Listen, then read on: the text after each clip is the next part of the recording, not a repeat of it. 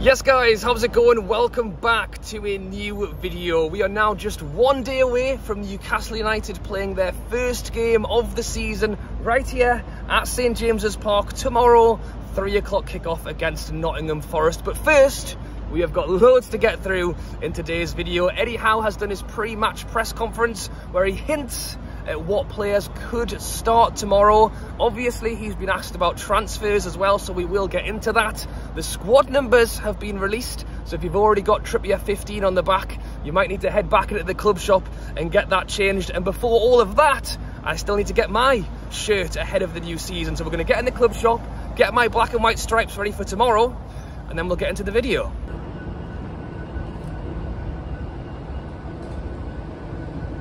Here we go, I've got a, a large and an extra large. I know that some people are saying the, the sizes are a bit mental, so we're gonna try them both. I'm sure one of them will fit okay.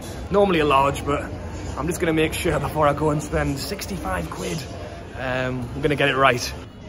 There you have it, shirt bought all ready for the game tomorrow. Cannot wait. And we're back, and I'm wearing the new shirt ready to go for tomorrow. Thinner stripes, which I much prefer. Um, badge actually sewn on, not stuck on. I like the collar, I like the arms. I am a fan of this shirt. And 65 quid, I don't know if I'm getting old or stingy or both, but what I do know is the money is going somewhere. We've seen upgrades to the stadium, we've seen money spent this summer transfer window, and we are still trying to spend more. So, what I do know is the money we are putting in the club is definitely getting used. And I know people have gone out and bought the home, the third, and the away, and big up you. And I do want to get some of the training gear when it's eventually available in the shop. It still wasn't there today, but I'm told it's going to be soon. But anyway, uh, I've literally just sat down and Eddie Howe has signed a new long-term deal with Newcastle United. So that is how we will start this video today. It has just been announced. Him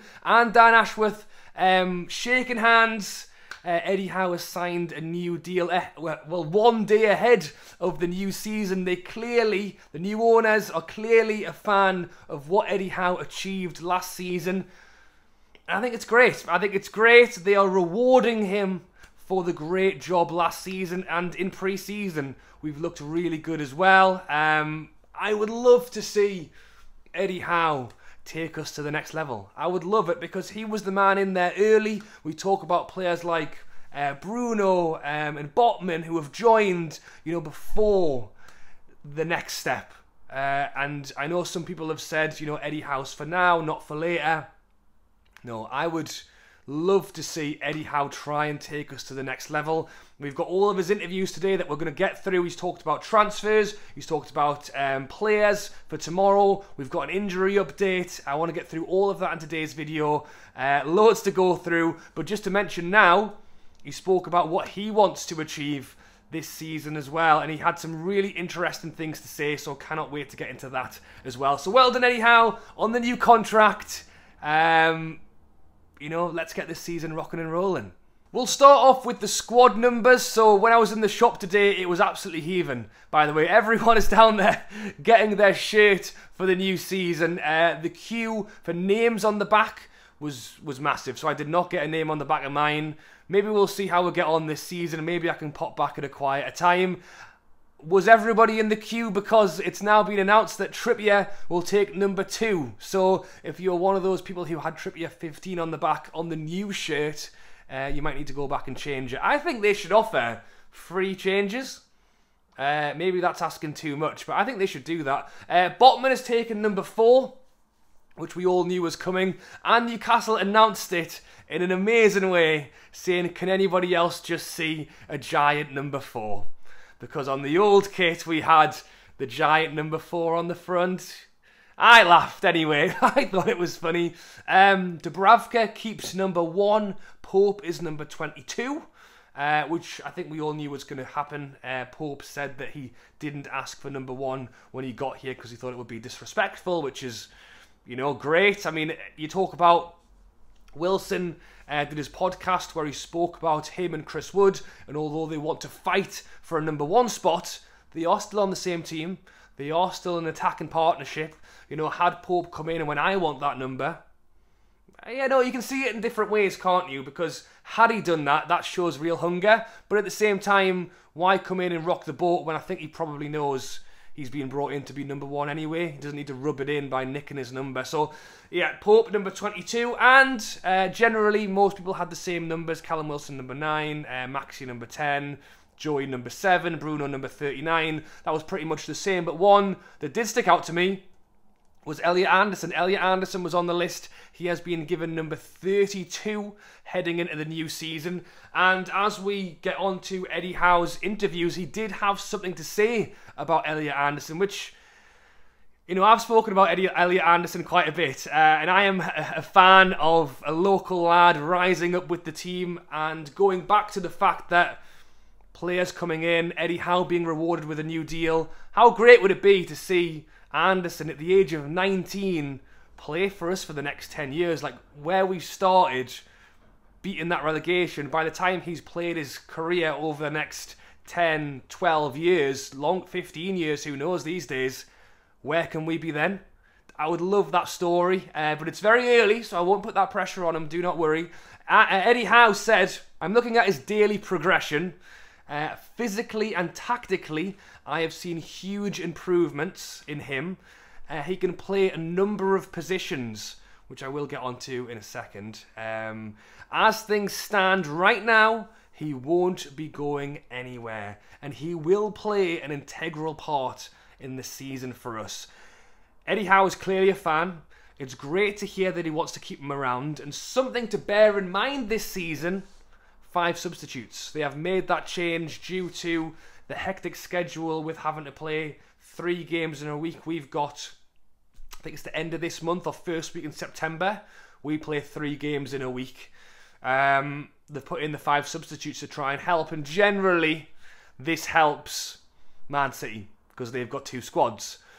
For Newcastle, who don't have the deepest squad, but have a player like Elliot Anderson who can be that player that comes on for 30 minutes. Eddie Howe saying there he can play in a number of positions. I think in a time like this where there is going to be a lot of games and a lot of um, substitutions to have a player who can come on. He can play in the middle. He can play that attacking role. He can sit and make those tackles. He can probably he can play on the right. He can probably go left, and he could probably stand next to Wilson up front as well. So to have someone very versatile in the squad, and from what we've seen of him in pre-season as well, is is very energetic. He's he's very in there, um, and I think we'll see a lot of that this season. Having five substitutes, three substitutes, really not to say that I um I think three was fine, to be honest. Again, maybe I'm being old and stingy again, but I thought three substitutions was fine. Uh, I understand why we've done five. I'll be interested to see whether they change it back to three next season. I think five helps the teams with better, with more players, and maybe in a couple of years' time that'll be Newcastle and that'll benefit us. But right now, it's not just yet. Um, and it's not really fair on the teams who are coming up or, or whatever and don't have as many as many players. It's more of a disadvantage. It's a, it's a benefit to the teams like Man City, is what I'm saying. But I think this season, that's why we want to strengthen all positions. That's why we need an extra striker, why we need an extra winger, because there's going to be as much rotation as possible this season. So it's great to hear about Elliot Anderson. Eddie Howe was asked about the game this weekend. He was asked what would be an achievement for this season or what would he like to do sitting there this time next year and what will we have achieved this season. And he actually said, Good question. uh, and he didn't really quite know how to answer that one. And I think it's because Eddie Howe plays his cards very close to his chest.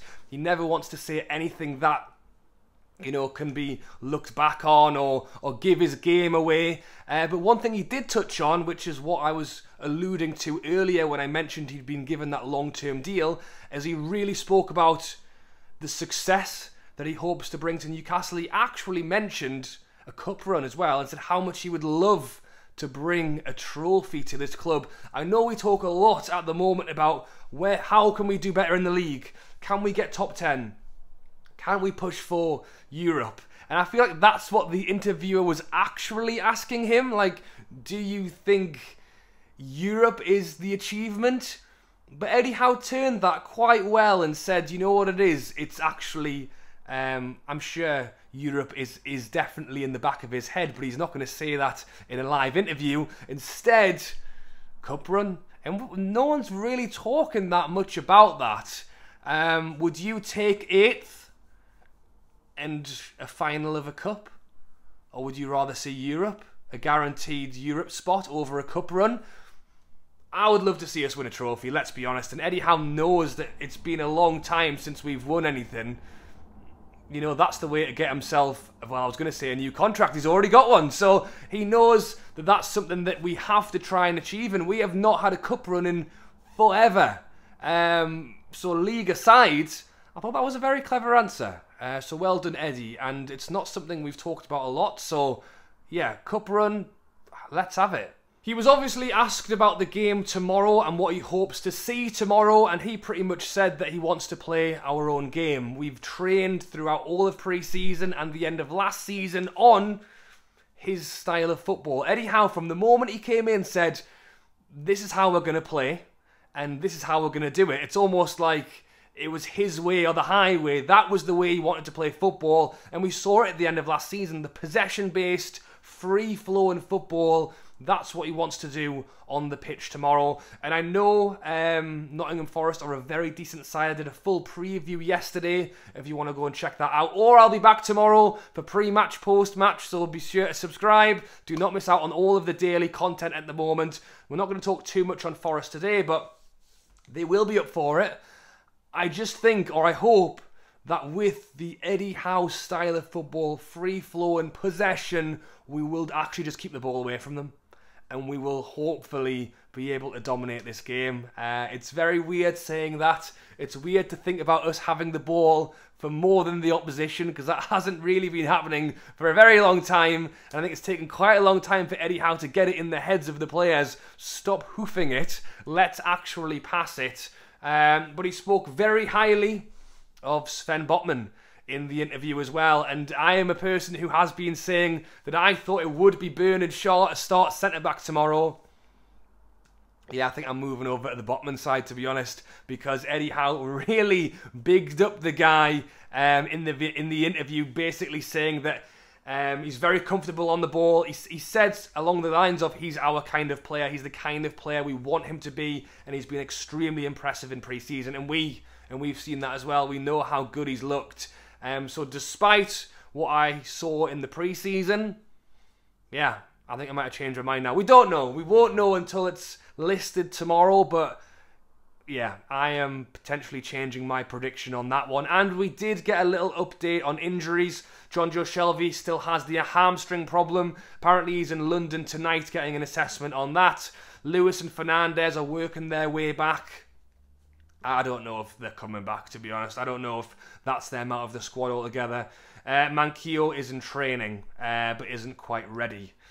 The three of them, Lewis Fernandez and Manquillo, I wouldn't be surprised if they are three players who don't make the squad this season.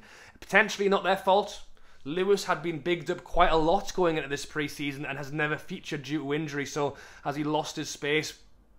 You know, just unfortunately, I think that could well be the case. Now then, let's get on to transfers. Eddie Howe was obviously going to be asked about transfers, and Eddie Howe did his very best to give away as very little as possible, as Eddie Howe always does. He was asked directly about Maddison, which we'll get onto in a second, but just to start things off, he said that we haven't got the free reign that maybe uh, people perceive in the media which we kind of already know as Newcastle fans. Uh, we know financial fair play is an issue. We have already spent 150 million in the last 10 months. We are still working to spend a little more, but we know that we can't just splash as much cash as everyone might be thinking outside of Newcastle. Um, he said that again in the media. They think that we can sign whoever we want um, and pay extortionate fees and wages.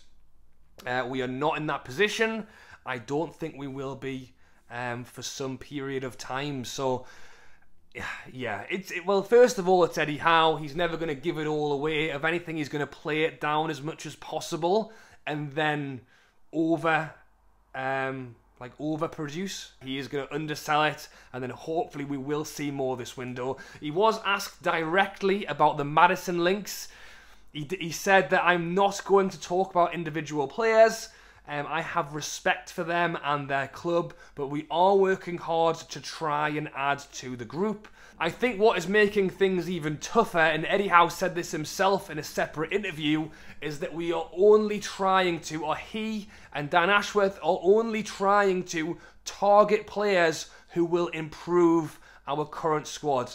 I, I see that as improve the 11 to be honest. I think they don't want to just go out and buy him and him because it bulks up the squad.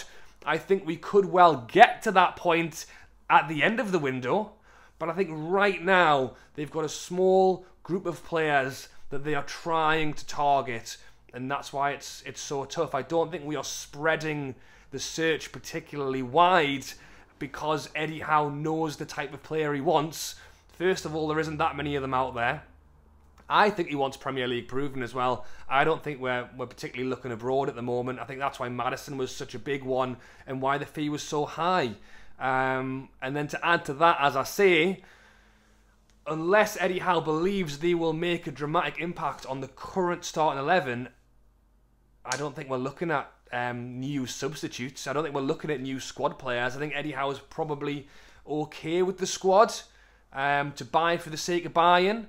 Um, he has said as well in the interviews that he is very frustrated with this summer window. He added to that that he's not frustrated with our club or our owners. Um, he didn't say this, but we understand that they have given assurances to Eddie Howe that there is money available and that we can spend. He just said that he is frustrated with the general window right now with the current transfer market. There is not a lot out there.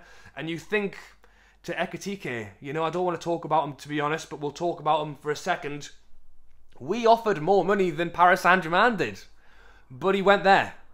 Um, so you cannot say that we have not tried to get players. It just didn't work out in that particular instance and he has said that he's very hopeful. So Eddie Howe said that he is very hopeful we will bring players in, uh, and hopefully it will be ASAP. I think that Ashworth and Howe were working to try and have players ready for this Nottingham Forest game. We haven't managed it, but the games are coming thick and fast, and the time Eddie has to bring these players in is running down. But overall, uh, big up to Eddie Howe with his new contract. I do think it is fully deserved. He has spoken um, about the long term future of the club. He is happy or very happy to be committing himself to a long term future. And when he's talking about things like winning a cup for the club and where can we go and what is the next level, he's saying all the right things and he's been saying all the right things for, for a while now. And as I say, after what a fantastic end of last season, um, if we can, you know, replicate that second half into this season, um, he'll be worth every penny. So thank you for watching guys, drop a like and subscribe if you are new. If you are still watching 20 minutes later and you haven't subscribed, hit the button. We will be back tomorrow with the pre-match chat. We'll be back after the game with the instant reaction, with the vlogs, and hopefully it will be a win for Newcastle's first game back. Alright guys, thanks for watching and I'll catch you later.